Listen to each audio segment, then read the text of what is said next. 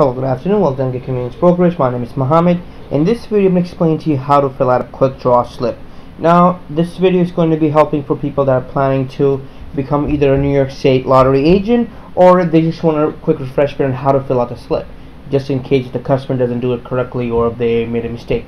Now, uh, I'm going to go over some of the rules of quick draw. Quick draw, uh, just to let you know, um, just uh, for safety precautions purposes, ask for ID anyone above 21. Uh, no matter if you're selling beer, liquor, or not. Because quick draw is like a. Uh, it all depends on the inspector.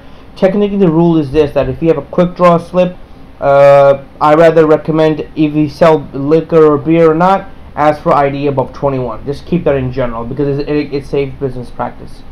Uh, asking for ID above 21 years or older. Now, how to fill out the quick draw slip is quite easy these are some of the rules you can look over. I'm going to explain to you as well. Now as you can see these are spots. You could play 1 2 3 or up to 10 it's up to you whatever you want to do. Now let's say for example if the customer plays two spots meaning they're going to pick two numbers from 1 to 60 and two numbers they play and they play for a dollar and they don't play extra. How did they win? So let's say they play if they pick two numbers and they, if they would have got two numbers altogether they would win ten dollars if they play extra, there's a roulette in the back.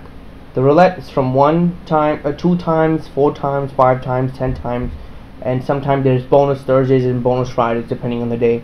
Uh, whatever it is, if the roulette were landed on let's say three spots or three times, I should say, so it'll be thirty dollars.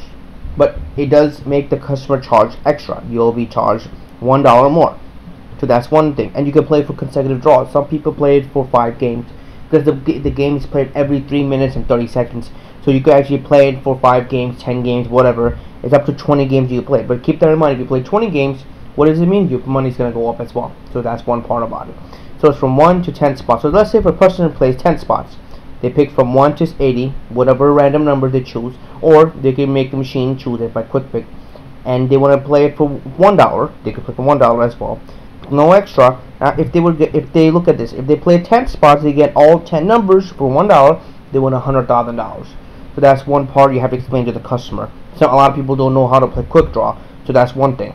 From 1 to 10, from 1 to 80. Now, as a retailer, let's say if a customer uh, wanted to play 4 spots, but pick 5 numbers over here.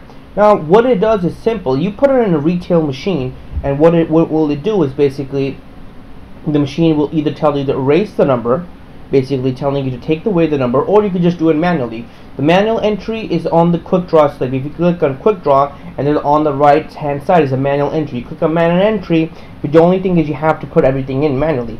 So you put down two spots customer wants to play, five numbers whatever it is, one dollar with no extra and then you put it manually and you'll be able to play it manually entry. Now obviously if they want to play consecutive or not.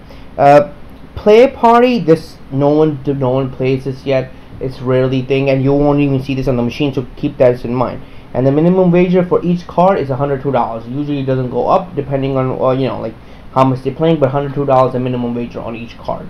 So basically that's how you fill out a quick draw slip. Again with the ID purposes I strongly recommend beer or no beer liquor or no liquor whatever you're selling just ask for ID anyone above 21 it'll give you a safe uh, uh, practice as a retail agent. Because technically uh, what I've known by so far don't quote on me that if you have uh, let's say if you're serving beer or liquor your quick draw is supposed to be 21 if you're not then it's 18 but even if you're not just ask for ID anyone above 21 that's what I strongly recommend. It's better to be safe than sorry. That's how I say it. Uh, uh, other than that thank you again guys for watching this video and I hope you guys enjoyed it.